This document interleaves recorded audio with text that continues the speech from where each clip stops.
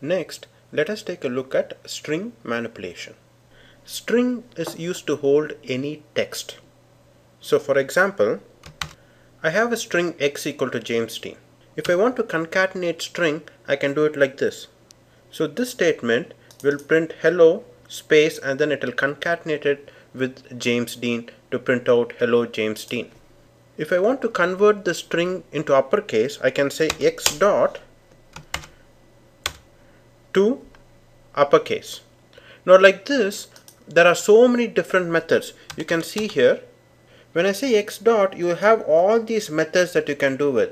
That is trim, uppercase, like you know, uh, substring and all those things. We will take a look at few of these string methods. x dot to uppercase will convert that particular string into uppercase. So x dot substring of 2 will print everything from the second character. Now what is the second character? Remember when you have string x equal to James Dean, will internally create an array of characters like this. So you have like James Dean each in their own boxes and it will label it as x of 0 to x of 9. So when you say x of substring of 2,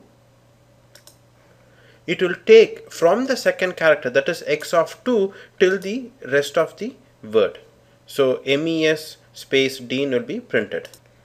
When you say x of substring of 2 comma 7 then what happens is it will print from the second character up to but not including 7 so it will print mes space and then d up to but not including 7 so here you can see that mes space d has been printed.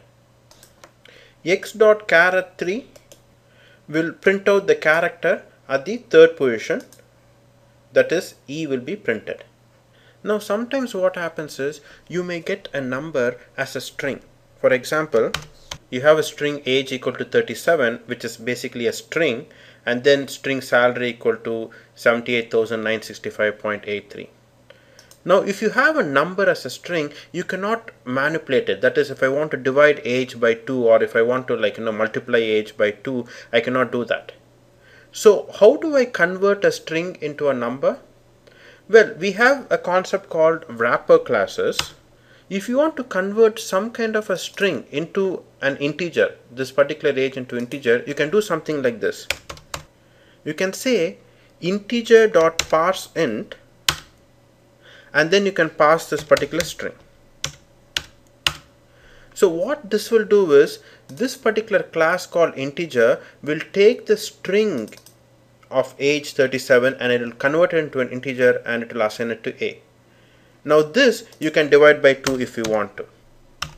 So here you can see that I am taking this particular salary which has a decimal number and I am converting it into a double number double dot parse double and then I'm passing the salary and then whatever the double value I get I can multiply with 0.15. I cannot do like divide by 2 here. It will give me an error. It will say that you cannot divide string by 2 but I can convert that particular string age into an integer and then divide it by 2 and I can assign it to a. Or I can like say add 2 for this. So now if I run this you can see that I got 39 as the answer because I've added 2 and I'm getting 15% of the particular salary that is 11,000 so this is called wrapper classes. There is a wrapper class for every primitive data type. Of course, the next question will be like, okay, we saw integer and you just introduced double to us to hold decimal places and you also sh showed us a string which holds text. What are the other data types that Java has? Java has eight primitive data types. Byte, short, int, long, float, double, character, boolean.